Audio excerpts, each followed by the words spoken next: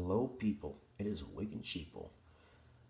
Today is March 24th, 8:30 a.m., and this is my personal journey, journal, walk with my Lord and Savior Jesus Christ, Jehovah or Yahweh HaMashiach, whatever you prefer to call him. There's other names in other languages, but they're all talking about the same God. So this morning at about four, I had a significant dream, and I say significant because it stayed with me, and I could could not stop thinking about it.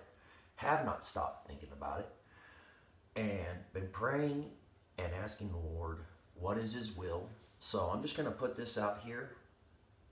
Uh, I was standing with the Pope. He was looking at his house, and he was speaking about how his house of God needed to be rebuilt.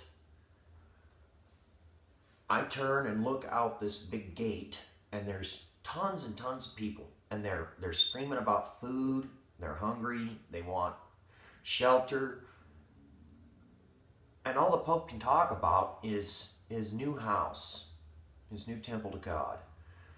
And nothing i said fazed him. And finally at the very end you know i, I sat there and i told him you got a lot of hungry people outside that gate. Why don't you take a look over there and help them? And he would have none of it he then turned and said, free will. And that was the end of the dream. So this morning, I got up and I started praying about that immediately. And went looked at the clouds and I saw 71. And when I went and looked up 71, oh, I also saw this number here, which was the number one, I suppose. First letter of the Greek alphabet. But 71.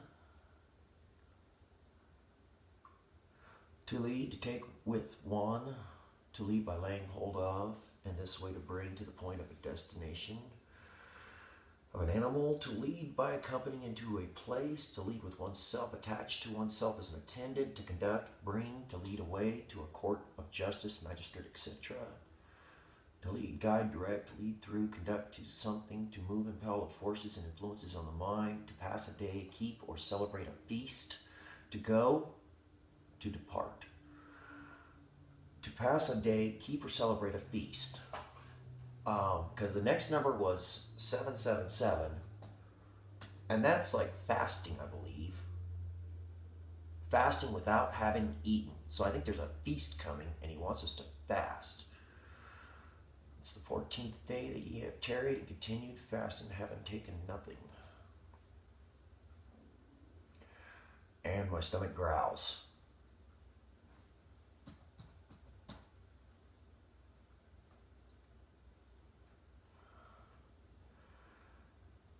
Seven nine seven was to lighten of dazzling objects.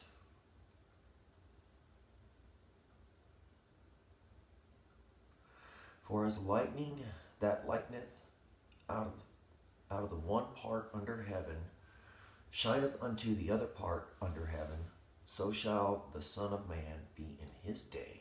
And it came to pass, as they were much perplexed thereabout, behold, two men stood by them in shining garments. That's Luke 17, 24 and Luke 24, 4. That's amazing.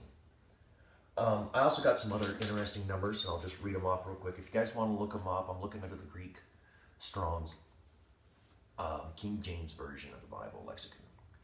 So, numbers were 4375. That was the first one I got yesterday. I think it was represented by Philippians 4 8, um, talking about pleasing and thinking on virtuous things. 343 to unveil or to uncover drawing back a veil. 759 was talking about spices and sweet smelling perfumes and anointings. 375 was to send up a higher place to a higher to a person higher up in office or authority or power. 4285 to go before and lead. And it's kind of funny that 71 was like a match for that same number. But I've been seeing the sevens a lot. 4134 to be filled up to the brim. To be perfect. 1882 to follow after like to follow after the Lord. And I will close with saying I am addicted to God. What are you addicted to? Praise the Lord in his most holy name.